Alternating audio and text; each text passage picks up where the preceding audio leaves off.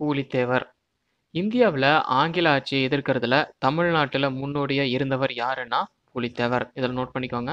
இந்தியாவில் ஆங்கில ஆட்சியை எதிர்க்கிறதுல தமிழ்நாட்டில் முன்னோடியாக இருந்தவர் யாருன்னா பூலித்தேவர். பூலித்தேவர் வந்து பார்த்தீங்கன்னா எந்த இடத்துடைய பாளையக்காரர்னா அவர் வந்து திருநெல்வேலியின் அருகில் இருந்த நெற்கட்டும் செவல் அப்படின்ற பாளையத்துடைய பாளையக்காரர் தான் பூலித்தேவர்.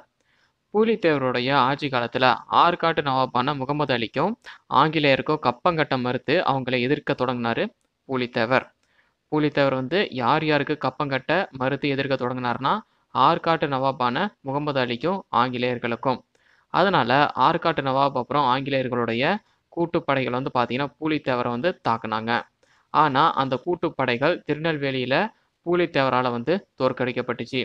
இந்தியாவில் ஆங்கிலேயரோட போரிட்டு அவங்கள தோற்கடித்த முதல் இந்திய மன்னர் யாருன்னா பூலித்தேவர் தான். இதை நோட் பண்ணிக்கோங்க.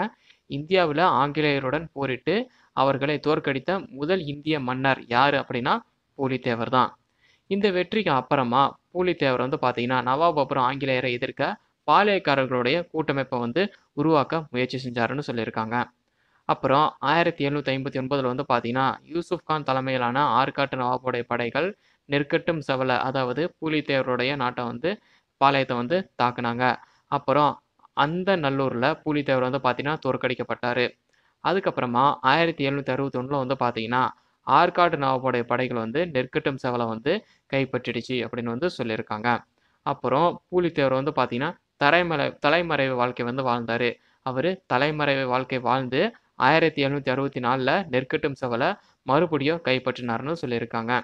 அப்புறம் பூலித்தேவர் வந்து பார்த்தீங்கன்னா ஆயிரத்தி எழுநூற்றி அறுபத்தி ஏழில் கேப்டன் கேம்பெல் அப்படிங்கிற ஒரு ஆளை வந்து தோற்கடிக்கப்பட்டுட்டார். அதுக்கப்புறம் பூலித்தேவர் வந்து பார்த்தீங்கன்னா தப்பிச்சு போய் தலைவருமா வா தலைமறைவாக வாழ்ந்து அவருடைய நோக்கம் நிறைவேறாமலேயே இறந்துட்டாருன்னு சொல்லியிருக்காங்க. மேலும் இந்த மாதிரி அப்டேட்ஸ் உங்களுக்கு வேணும் அப்படின்னா முத்துக்குமார் யூடியூப் சேனலை சப்ஸ்கிரைப் பண்ணுங்கள் மறக்காமல் பக்கத்தில் இருக்க பெல் சிம்பிளை கிளிக் பண்ணிவிடுங்க தேங்க்யூ